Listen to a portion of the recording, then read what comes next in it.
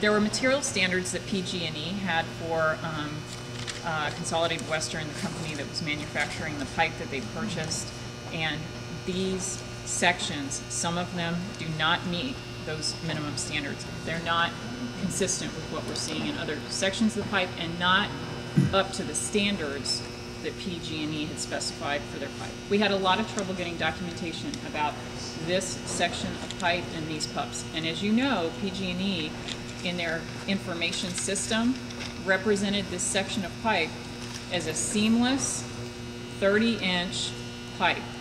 We know that they didn't manufacture seamless 30 inch pipe in 1956 and they don't now either.